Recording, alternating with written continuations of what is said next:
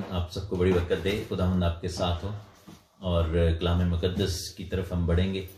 और इस बात के लिए कि हमने बड़ी खूबसूरत प्रस्तश की। हमने खुदावन के नाम को ऊँचा किया, हमने जलाल दिया खुदावन यसु सिनास्टी को।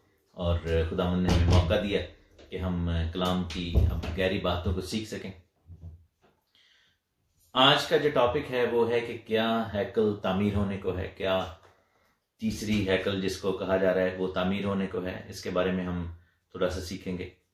क्या आखिरी ज़माना आ गया है? क्या मुखालफ मसीह आ गया है? पिछले दिनों में हमने एक वीडियो देखी, एक भाई ने किसी यहूदी रबाई के हवाले से डाला हुआ था कि उसको सारे लोग जो हैं वो स्पेशली जो यहूदी लोग हैं, वो उसको काफ़ी प्रेज कर रहे हैं। Young, thirty years old thirty three years old जैजिकाय बिन दवीद जो है, उसके बारे में। तो लोग जो हैं इस वक्त जो रेबाइज हैं या रबिनिकल जुडाइज्म जो सिस्टम है, उसको काफ़ी ज़्यादा जो है वो ऊँचा चढ़ा रहे हैं। तो साथ में ये भी कहा गया उस वीडियो में कि अब बस हैकल तामीर होने को। तो थोड़ा सा इस चीज़ में मैं थोड़ा सा आपको गाइड करता चलूँ कि पहले सवाल यह है कि क्या हम आखिरी ज़माना में हैं?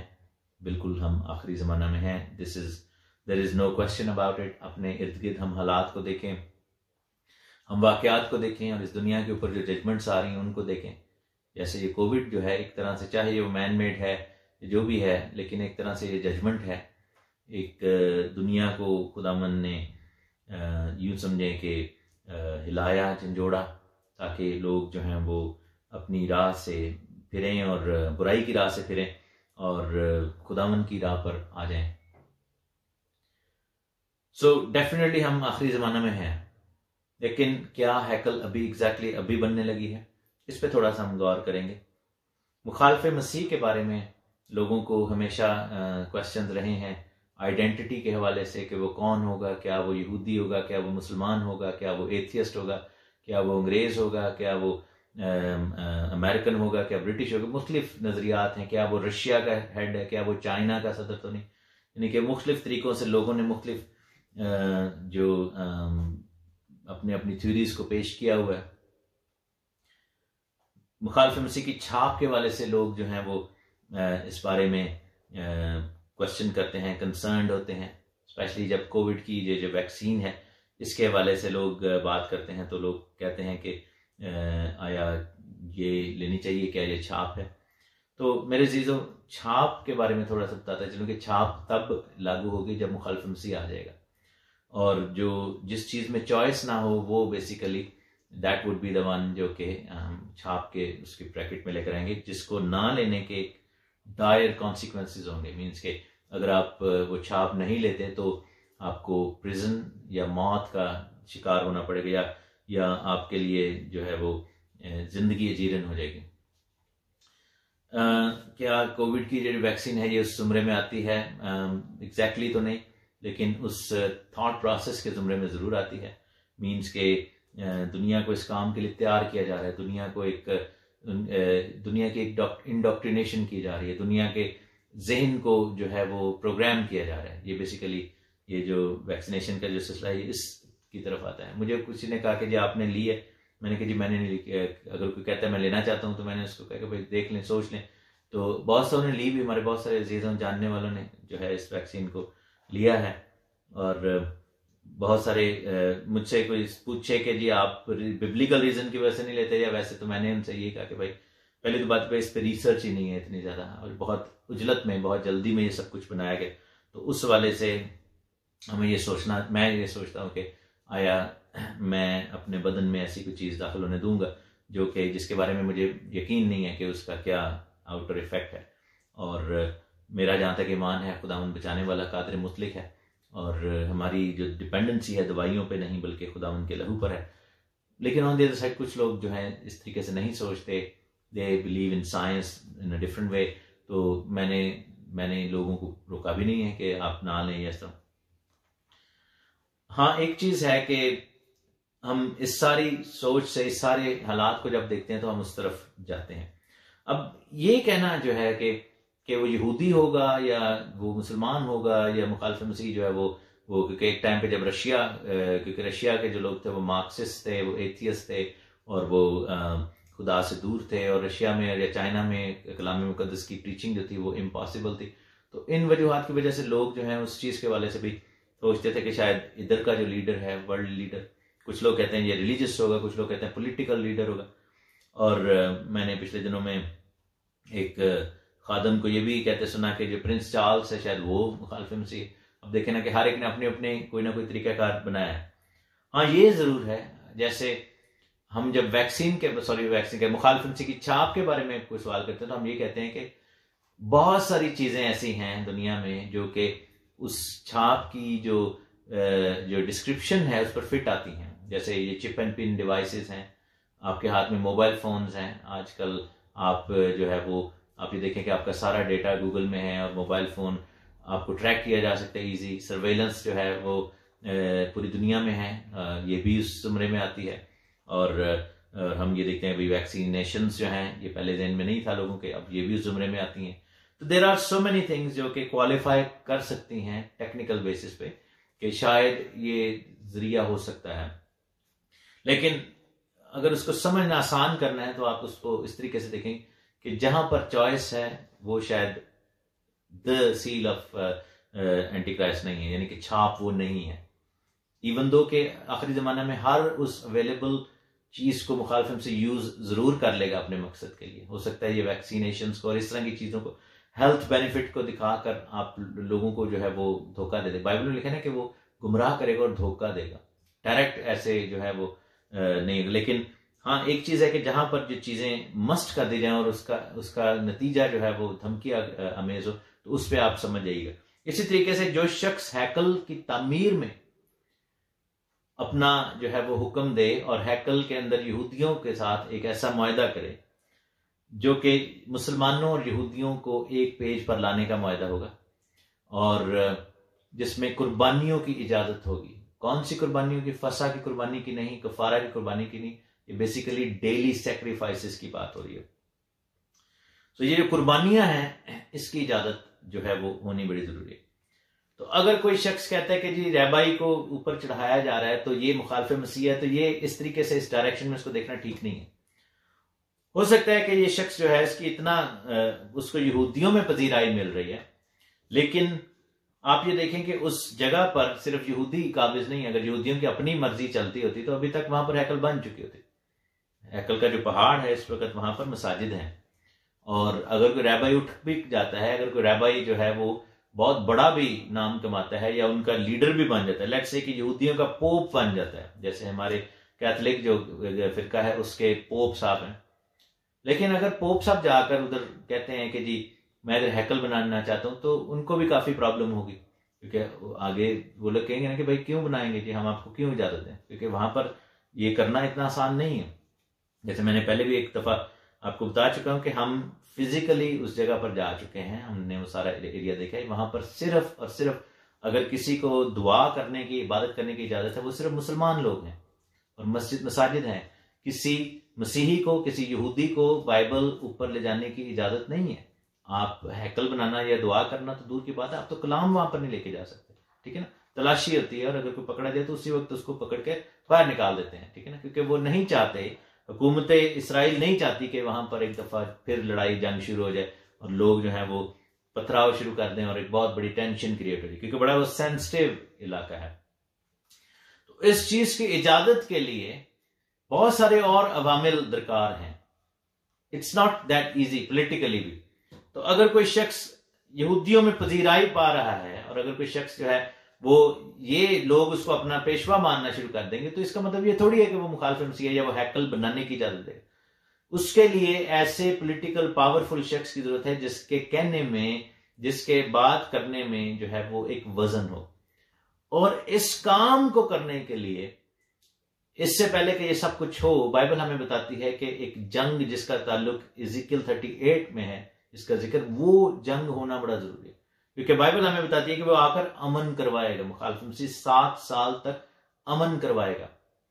और वो जब अमन करवाएगा तो फिर जो है ये सिलसिला शुरू होगा उस अमन का जो जो टर्म्स होंगी टर्म्स एंड कंडीशन होंगी, जो उनके दरमियान डील होगी, उसकी जो टर्म्स एंड कंडीशन वो यही होंगी कि आपको भी दुआ की इजाज़त है, कुर्बानियाँ चढ़ाने की, और मुसलमानों को भी अपना करने की इजाज़त है, क्रिश्चियनों को भी, हर एक को अपना अपना कुछ ना कुछ करने, और वो एक यूनिवर्सल प्लेस बन जाएगी, और उसमें खास तौर पर यहूदी लोगों को कुर्बान गाह बनाने की और कुर्बान कुर्बान गाह पर कुर्बानियाँ चढ़ाने की जो है वो इजाज़त मिलेगी। हैकल का वहाँ पर ज़िक्र नहीं है। ये भी समझना बड़ा ज़रूरी है कि थर्ड टेंपल अगर कोई आकर बनाएगा तो वो खुदा खुदा की जाता है। हाँ टेम्परेरी वहाँ पर एक छोटा सा मेक शिफ्ट जो है वो सेटअप बनाया जाएगा, जिसको आकर खुदा मसीह डिस्ट्रॉय वैसे ही कर देंगे। तो वो मेक शिफ्ट जो जो जो अरेंजमेंट है, उसमें फिर वो बिलाखर अपना बुत नसब करेगा। तो अमन कब करवाया जाता है? जब जंग के हालात होते हैं, जब लड़ाई होती है। क्योंकि इस वक्त अगर देखा जाए तो दोनों को घुटनों पर लाने के लिए, यहूदियों को भी और मुसलमानों को वहाँ पर हालात ऐसे हैं कि स्ट्रांगली बैक ऑफ़ वो करते हैं और वो एक दूसरे, वो यानी कि वो इस चीज़ के लिए रेडी नहीं है अभी। तो इस चीज़ को इस डगर पर लाने के लिए there we are looking for a war in in Middle East हम हम जो है वो मिडल ईस्ट में एक जंग नज़र आ रही है जो कि बाइबल के मुताबिक है। उसके नतीजे में ये सब फैसला होगा। और दानियल की किताब में इसका ज़िक्र है मेरे साथ, देखें। लेकिन मैं हैकल के बारे में बता दूँ, क्यों लिखा है कि यसुसी के बारे में हैकल का ज़िक्र है। ये जक्रिया की किताब, उसके छठे बाब की, उसकी बारहवीं आयत में लिखा है कि जबुल फाजू फरमाता है कि देख, वो शख्स जिसका नाम शाख है ये बेसिकली मसीह के लिए अल्फाज यूज़ हुए हैं। बाइबल में पाँच दफ़ा लफ्ज शाख यूज़ हुआ है। मसीह के लिए जर्मिया में दो तीन दफ़ा यूज़ हुआ है। तो ये लिखे, जिसका नाम शाख है, उसके जेर साया खुशहाली होगी और वो खुदामन की हैकल को बनाएगा, तामीर करेगा। यानी ये सुनसी की बात हो रही है मसाया की ये बात हो रही है। ऑब्वियसली एंटी मसाया जो है, या मुखालफ मसीह, वो हैकल को नहीं बनाएगा। दानियल की किताब के आखिरी चैप्टर में इसका बड़ा ज़बरदस्त ज़िक्र है। लिखा है कि जब दानियल पूछ रहा था खुदावन से कि भाई ये क्या सिलसिला है और कितना टाइम है, ये सब चीज़ों को होने में कितना टाइम तो दानियल चैप्टर ट्वेल्व उसकी वर्ष नाइन में लिखा, उसने कहा कि दानियल तो अपनी राह ले, क्योंकि ये बातें आखिरी वक्त तक बंद और सर्बमहर रहेंगी। बहुत लोग पाक किए जाएँगे और साफ़ और बुराक होंगे, लेकिन शरारत, शरीर शरारत करते रहेंगे और शरीरों में से कोई ना समझेगा, पर दानिश्वर समझेंगे। और लिखा है कि, और जिस वक्त से दायमी कुर्बानी माकूफ की जाएगी और वो उजाड़ने वाली मकरू चीज़ नसब की जाएगी, एक हज़ार दो सौ नब्बे दिन होंगे. यानी कि साढ़े तीन साल का अच्छा अब दायमी कुर्बानी जो है, ये टर्मिनोलॉजी है, ये बेसिकली ये जो दिन रात की सुबह और शाम की कुर्बानी होती थी जिसको डेली सेक्रीफाइस कहते थे। ये बेसिकली इसके लिए जो टर्म यूज़ होती थी, वो इटर्नल सेक्रीफाइस भी थी। ये कहा जाता था कि ये, यहूदियों में ये कॉन्सेप्ट है कि खुदामन ने आदम को ये हुक्म दिया था और वो रोज़मर्रा की बुनियाद पर कहानत में ये होता था, यहूदियों की जो कहानत है और लावी की जो कहानत है, उसमें ये होता था कि बाकी लोग बाय चॉइस कुर्बानियाँ लाते थे। खता की कुर्बानी और और दूसरे फितराने और कुर्बानी और ये सब कुछ। और फिर ईदों पर भी जो है वो कुर्बानियाँ चढ़ाई जाती थी। लेकिन एक कुर्बानी ऐसी थी जो दायमी कुर्बानी थी। यानी कि वो वो विदाउट चेंज वो विदाउट ब्रेक वो कुर्बानी करनी पड़ती थी उनको। वो थी एक सुबह कुर्बानी और एक शाम की कुर्बानी, जिसको दिन रात की कुर्बानी, सुबह शाम की कुर्बानी कहा जाता था और उसको दायमी कुर्बानी भी कहा जाता बहुत सारे लोग इस लफ्ज दायमी से या इटर्नल से थोड़ा कंफ्यूज हो जाते हैं। कहते हैं दायमी कैसी है? वो तो बीच में तो कितने साल नहीं की। ये बेसिकली इसका नाम है उस कुर्बानी का। उस, उसके लिए टर्म यूज़ हुई है। सो इस चीज़ में कंफ्यूज नहीं होना। दायमी अगर होती तो अभी अभी तक चल रही थी, चल रही होती। लेकिन ऑब्वियसली यसुमसी के मरने और जुटने के बाद से कुर्बानी की ज़रूरत नहीं रही। लेकिन क्या है कि उस आखिरी सेटअप में वो कुर्बानियों की इजाज़त मिलेगी, जो कि डे एंड नाइट सुबह और शाम की कुर्बानी। ये भी याद रखना है, क्योंकि ऐसे नहीं है कि जी वहाँ पर हैकल के पहाड़ पर एक वन ऑफ़ कुर्बानी दे दी जाए और वहाँ पर कहा जी, अब जी एंटी क्राइस्ट आगे। नहीं, ये डेली सेक्रीफाइसेस साल साढ़े तीन साल तक वहाँ पर होती रहेंगी और उसके बाद जो है वो कट ऑफ़ किया जाएगा। और जब वो कट ऑफ़ किया जाएगा तो बाइबल हमें बताती है कि उसके बाद वो अपना बुद्ध वहाँ पर नसब करेगा। तो यहूदियों को भी पकड़ के फिर वो बंद करेगा और मुसलमानों को सबको कहेगा, भाई, मेरी प्रस्तिश करो। और ये जो है, ये बहुत बड़ा एक उजाड़ने वाली मकरू चीज़ इसको बोला गया। ये बहुत बड़ा एक स्टेप होगा जो मुखालफ मसीह उठाएगा। तो ये कहना कि अभी जो वहाँ पर एक भाई साहब नज़र आ रहे हैं कि वो मुखालफ ये कुड भी, हमें क्या पता? हो सकता है बिल्कुल हो। लेकिन हमें ऐसे गलत डायरेक्शंस में नहीं देखना, हमें ऐसे ओवर एक्साइटेड नहीं होना, चीज़ों को देखकर चीज़ों को देख देख करके अच्छा ये इस बंदे के हाथ चूम रहे हैं तो शायद ये मुखालफ मसीह नहीं, ऐसे नहीं, जो अक्लमंद लोग हैं, जो कि समझदार लोग हैं, जिनके अंदर हिकमत है, वो एक्साइटेड नहीं होते, वो हर वक्त कलाम की बाकी बातों पर भी गौर करते हैं। तो हमें ये देखना है कि आया जो बाकी लवाजमात हैं, वो पूरे हो रहे हैं या नहीं हो रहे? ठीक है ना? किसी को पजीराई मिल रही है, वो किस हद तक पजीराई है कि आया मुसलमान भी उसको पजीराई दे रहे हैं? क्या मुतफिका लीडर के तौर पर सामने आ रहा है? अब जैसे हमने एक दफ़ा डोनाल्ड ट्रंप के बारे में कहा था कि जी, उसको सारे जो है वो आगे लगा रहे हैं, और अरब कंट्रीज़ भी, और तो हमने कहा था कि हो सकता है ये भी बंदा उस क्राइटेरिया में फिट हो रहा है, और हम उस, क्रिश्चियन भी उसके लिए दुआ कर रहे हैं यहूदी भी उसको अपना लीडर मान रहे हैं मुसलमान, हर बंदा उसकी पावर का जो है वो मुतारफ हो रहा है, और और हर बंदा उसके लिए अच्छा सोच रहा कुड इट बी इस तरह के लीडर्स जो हैं, जिनका इम्पैक्ट है बहुत बड़ा they will be the ones जो कि इस तरीके का फैसला कर पाएँगे और जिसका फैसला जिसको अपना फैसला मनवाने की जिसमें पावर भी होगी। और वो बाय फोर्स जो है, वो दुनिया पूरी पर हुकूमत करेगा। ये चीज़ भी समझने की ज़रूरत है। यहूदियों का अगर एक रैबाई है, वो पूरी दुनिया पर हुकूमत कर, नहीं कर सकता। सुपर पावर होना पड़ेगा। तो ये सब चीज़ें जानने की और समझने की बड़ी ज़रूरत है कि पूरी दुनिया को कंट्रोल करने के लिए it has to be that political religious figure और ऐसा भी फिगर हो सकता है कि जो जैसे यहूदियों के इस रैबाई की बात हो रही है या मुसलमानों का जो हेड है या कोई तो पोप साहब हैं या क्रिश्चियंस के वाले, वो इन तमाम रिलीजियस लोगों को अपने नीचे रिलीजियस साइड से लोगों को कवर करने की कोशिश करे और फिर साइंटिफिकली भी लोगों को कवर करने की कोशिश करे। तो उस वाले से हम अभी परेशान ना हो कि वो भाई आ गया बंदा। हमें ये देखने की ज़रूरत है कि हालात क्या कह रहे हैं। जो बाइबल हमें बताती है, उसके मुताबिक आगे हालात थोड़े बिगड़ेंगे और ये जो दुनिया के हालात हैं, ये बेहतर नहीं होंगे। ये प्रॉब्लम की तरफ़ जाएँगे, फाइनेंशियली और ये सब चीज़ें ब्रेक होंगी। और दुनिया में जैसे कलाम में लिखे ना कि जंग और जंग की अफवाहें और ये वो, ये सब कुछ अब नेक्स्ट फ़ेज़ में ये सब कुछ आने को है। वबाएँ फैली हैं। तो ईमानदारों के लिए इसमें क्या ब्लेसिंग है? बाइबल में हमें लिखा हुआ है कि सबसे पहली तो बात यह है कि ये जो दुनिया के हालात हैं, हम अपनी आँखों से देख रहे हैं। हम अपनी आँखों से वो तमाम प्रोफेसिस को पूरा होते हुए देख रहे हैं, जो कि कलाम मुकदस में लिखी हुई नबियों ने कहीं, और वो ख्वाहिश रखते हुए चले गए कि काश उनको ये देखने की तौफीक होती। ये हुई है बात।